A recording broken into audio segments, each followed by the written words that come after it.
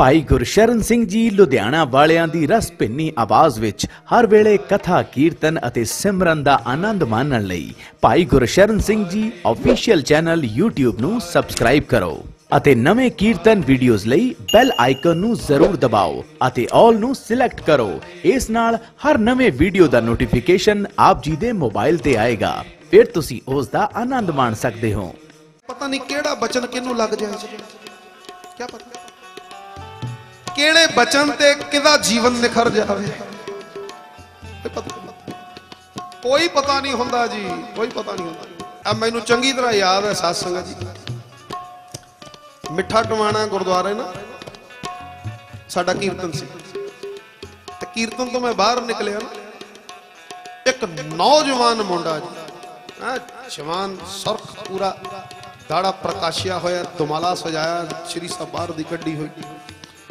ਤੇ ਜਦੋਂ ਅਸੀਂ ਗੱਡੀ 'ਚ ਬਹਿ ਕੇ ਤੁਰਨ ਲੱਗੇ ਤੇ ਉਹਨੇ ਮੇਰਾ ਸ਼ੀਸ਼ਾ ਨੌਕ ਕੀਤਾ ਜੀ। ਮੈਂ ਸ਼ੀਸ਼ਾ ਖੋਲਿਆ ਮੈਂ ਕਿਹਾ, ਹਾਂਜੀ ਬੇਟਾ, ਦੱਸੋ। ਕਹਿੰਦਾ, ਵੀਰ ਜੀ, ਤੁਹਾਡੇ ਨਾਲ ਇੱਕ ਗੱਲ ਸਾਂਝੀ ਕਰਨੀ ਹੈ। ਮੈਂ ਕਿਹਾ, ਦੱਸੋ। ਉਹਨੇ ਦੱਸਿਆ, ਚਲੋ, ਮੈਂ ਡਰ ਕੇ ਕਹਿਣਾ ਮੇਰੇ ਗੁਰੂ ਸਾਹਿਬ ਵਾਲ ਲਾਈ ਰੱਖਣ ਪਰ ਕਹਿਣ ਮਾਤਰ ਮੈਨੂੰ ਕਹਿਣਾ ਪੈ ਰਿਹਾ ਕਹਿੰਦੇ, ਜੀ, ਤੁਹਾਡੇ ਇੱਕ ਬਚਨ ਨੇ ਮੇਰਾ ਜੀਵਨ ਤਬਦੀਲ ਕਰਕੇ ਰੱਖ ਦਿੱਤਾ। ਇੱਕ ਜੁਗਤੀ ਨੇ। ਮੈਂ ਕਿਹਾ, ਕਿਹੜੀ ਜੁਗਤੀ? ਤੇ ਕੀ ਜੀਵਨ ਤਬਦੀਲ ਹੋਇਆ? ਸਾਨੂੰ ਕੱਲ ਹੀ ਸੀ, ਮੈਂ ਸਿੰਘ ਨੂੰ ਕਿਹਾ, ਮੈਂ ਕਿਹਾ, ਕੋਈ ਨਹੀਂ, ਗੱਡੀ ਬੰਦ ਕਰ। ਸੁਣੀਏ ਇਹਦੀ। ਕਹਿੰਦੇ ਜੀ, ਮੈਂ ਰੱਜ ਕੇ ਆਲਸੀ ਸੀ। ਪਿਓ ਕੋਲ ਵੀ ਝਿੜਕਾ ਖਾਣੀਆਂ ਤੇ ਵੱਡੇ ਭਰਾ ਕੋਲ ਵੀ ਝਿੜਕਾ ਖਾਣੀ ਕਹਿੰਦੇ, ਵੀਰ ਜੀ, ਤੁਸੀਂ ਯਕੀਨ ਕਰੋਗੇ?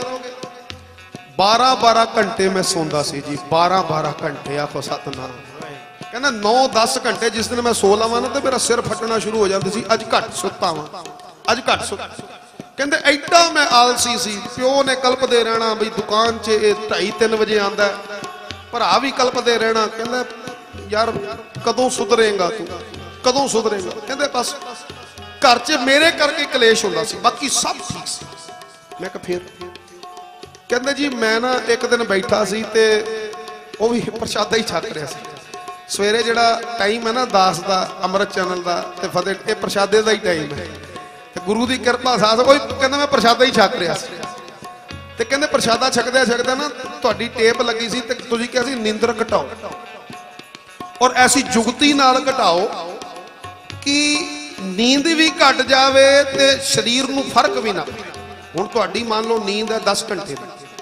ਤੁਸੀਂ ਅੱਕ ਥੱਕ ਗਏ ਉਹਨੂੰ ਘਟਾਉਣਾ ਚਾਹੁੰਦੇ ਹੋ। ਹੁਣ ਤੁਸੀਂ ਇੱਕਦਮ ਕਰ ਦਿਓ 6 ਘੰਟੇ। ਬਿਮਾਰ ਹੋ ਜਾਓਗੇ। ਹਿਲ ਜਾਏਗਾ ਸਰੀਰ ਤੁਹਾਡਾ। ਐਦਾਂ ਕਰਿਓ ਵੀ ਨਾ ਕਦੇ। ਇੱਕ ਜੁਗਤੀ ਦਾਸ ਤੁਹਾਨੂੰ ਤੁਹਾਡੇ ਚਰਨਾਂ 'ਚ ਰੱਖਣ ਲੱਗਾ।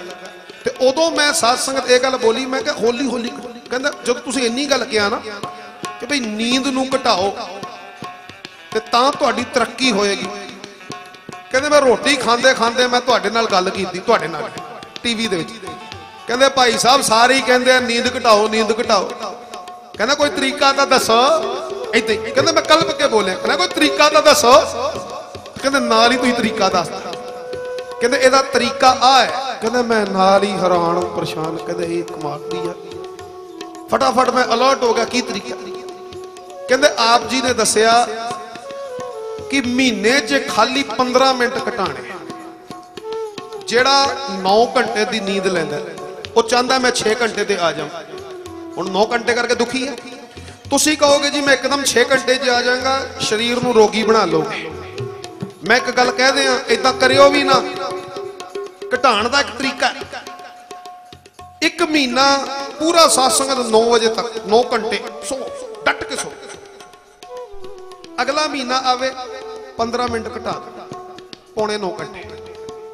ਹੁਣ ਤੁਹਾਨੂੰ 3 4 5 ਦਿਨ ਔਖਾ ਹੋਏਗਾ। ਖਾਲੀ 15 ਮਿੰਟ ਘਟਾਇਆ ਨਾ, ਇਹ ਸਾਡੀ ਬਾਡੀ ਰੈਸਿਸਟੈਂਟ ਹੈ। ਬਾਡੀ ਸਾਸੰਗਤ ਹੈਪਚੁਅਲ ਹੋਈ ਹੁੰਦੀ ਹੈ ਇੱਕ ਚੀਜ਼ ਕਰਕੇ।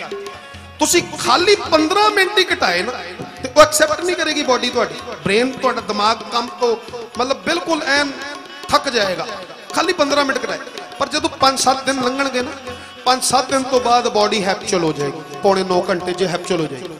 ਹੁਣ ਅਗਲਾ ਮਹੀਨਾ ਆਇਆ 15 ਮਿੰਟ ਹੋਰ ਘਟਾ ਦੇ 8.5 ਘੰਟੇ ਹੋ ਗਏ? 5-7 ਦਿਨ ਤੋਂ ਤੁਸੀਂ ਔਖੇ ਰਹੋਗੇ। 5-7 ਦਿਨ, ਕਿਉਂਕਿ ਬਾਡੀ ਪੌਣੇ 9 ਘੰਟੇ 'ਚ ਹੁਣ ਐਕਚੁਅਲ ਸੀ। ਹੁਣ 5-7 ਦਿਨ ਔਖੇ, ਫਿਰ ਉਸ ਤੋਂ ਬਾਡੀ ਐਕਚੁਅਲ ਹੋ ਜਾਏਗੀ। ਬਿਲਕੁਲ ਐਨ ਐਕਸੈਪਟ ਕਰ ਲੇਗੀ 8.5 ਘੰਟੇ। ਐਦਾਂ 15-15 ਮਿੰਟ ਕਰਕੇ ਘਟਾਓ। 15-15 10-10 ਮਿੰਟ ਕਰਕੇ। ਕਹਿੰਦੇ ਵੀਰ ਜੀ ਆ ਜੁਗਤੀ, ਆਹਾ, ਕਹਿੰਦੇ ਕਾਰਗਲ ਸਿੱਧ ਹੋਈ ਮੇਰੇ। ਮੈਂ ਕਿਹਾ, ਅੱਛਾ। ਕਹਿੰਦਾ ਵੀਰ ਜੀ, ਮੈਂ 15-15 ਮਿੰਟ ਘਟਾਣੇ ਸ਼ੁਰੂ ਕੀਤੇ। ਕਹਿੰਦੇ, ਇਹ ਜੁਗਤੀ ਇੰਨੀ ਜ਼ਬਰਦਸਤ ਨਿਕਲੀ ਮੇਰੇ ਵਾਸਤੇ, ਇੰਨੀ ਜ਼ਬਰਦਸਤ।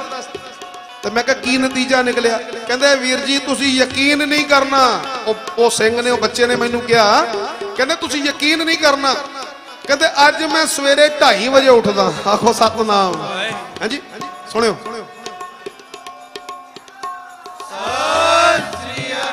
ਕਹਿੰਦੇ, ਮੈਂ 2:30 ਵਜੇ ਉੱਠਦਾ। 2.5 3 ਘੰਟੇ ਦਾ ਮੇਰਾ ਨਿਤਨੇਮ ਹੈ। ਔਰ ਪ੍ਰੋਪਰ ਨੀਂਦ ਹੁਣ ਮੇਰੀ ਰਹਿ ਗਈ ਜੀ 5.5 6 ਘੰਟੇ ਦੀ ਆਖੋ ਸਤਨਾਮ। 12 ਘੰਟੇ ਮੈਂ ਸੌਂਦਾ ਸੀ ਤੇ 5 5.5 6 ਘੰਟੇ ਦੀ ਮੇਰੀ ਨੀਂਦ ਰਹਿ ਗਈ। ਜਦੋਂ ਮੈਂ ਇੰਨੀ ਗੱਲ ਸੁਣੀ ਨਾ, ਮੈਂ ਇੱਕਦਮ ਸ਼ੌਕ ਉਹਦੇ ਵੱਲ ਵੇਖਿਆ। ਮੈਂ ਕਿਹਾ 12 ਘੰਟੇ ਦੀ ਨੀਂਦ 6 ਘੰਟੇ ਰਹਿ ਗਈ। ਮੈਂ ਕਿਹਾ, ਠੀਕ ਹੈ, ਸਰੀਰ ਕਰਕੇ ਠੀਕ। ਕਹਿੰਦੇ, ਆਹ ਦੇਖੋ, ਤੁਹਾਡੇ ਸਾਹਮਣੇ ਖੜਾ, ਰਿਸ਼ਟ ਪੁਸ਼ਟ ਖੜਾ। ਬਿਲਕੁਲ। ਕਹਿੰਦੇ, ਬਸ 15 15 ਮਿੰਟ ਮੈਂ ਘਟਾਉਂਦਾ ਗਿਆ। ਮੇਰੀ ਬਾਡੀ ਆਦੀ ਹੁੰਦੀ ਗਈ। ਹੁਣ ਮੇਰੀ ਬਾਡੀ 6 ਘੰਟੇ ਦੀ ਆਦੀ ਬਣ ਚੁੱਕੀ ਕਹਿੰਦੇ ਭਾਈ ਸਾਹਿਬ, ਜਿਹੜੇ ਇਹ 6 ਘੰਟੇ ਬਚੇ ਨਾ, ਕਹਿੰਦੇ ਅੱਜ ਮੇਰਾ ਪਰਿਵਾਰ ਇੰਨਾ ਖੁਸ਼ ਹੈ, ਕਹਿੰਦਾ ਹੁਣ ਮੈਂ ਟਾਈਮ ਸਿਰ ਦੁਕਾਨ ਤੇ ਵੀ ਜਾਣਾ ਅੰਮ੍ਰਿਤ ਵੇਲਾ ਵੀ ਭੁਗਤਾਨਾ, ਬਾਣੀ ਵੀ ਭੁਗਤਾਨਾ, ਕਹਿੰਦੇ ਦੁਕਾਨ ਵੀ ਟਾਈਮ ਸਿਰ ਜਾਂਦਾ, ਮੇਰੇ ਪਿਤਾ ਜੀ ਵੀ ਖੁਸ਼, ਮੇਰਾ ਭਰਾ ਵੀ ਖੁਸ਼, ਮੇਰੇ ਘਰ ਦੇ ਵਿੱਚ ਜਿਹੜੀ ਕਲਾ ਕਲੇਸ਼, ਉਹ ਵੀ ਉੱਡ ਗਿਆ। ਐਨ ਸੁਖ ਸ਼ਾਂਤੀ ਬਣ ਗਈ ਇਸ ਜੁਗਤੀ ਦੇ ਨਾਲ ਆਖੋ ਸਤਨਾਮ। ਹੁਣ ਸਾਧ ਸੰਗਤ ਦਾਸ ਉੱਥੇ ਹੀ ਆਏ। ਕੀ ਪਤਾ ਹੁੰਦਾ ਕਿਹੜੀ ਗੱਲ ਕਿਤੇ ਜੀਵਨ ਨੂੰ ਛੂ ਜਾਵੇ ਤੇ ਸ਼ਿੰਗਾਰ ਦੇਵੇ? ਅਗਰ ਤੁਹਾਨੂੰ ਇਹ ਵੀਡੀਓ ਵਧੀਆ ਲੱਗੀ ਹੈ ਤਾਂ ਲਾਈਕ ਕਰੋ ਅਤੇ ਅੱਗੇ ਸ਼ੇਅਰ ਜ਼ਰੂਰ ਕਰੋ ਜੀ।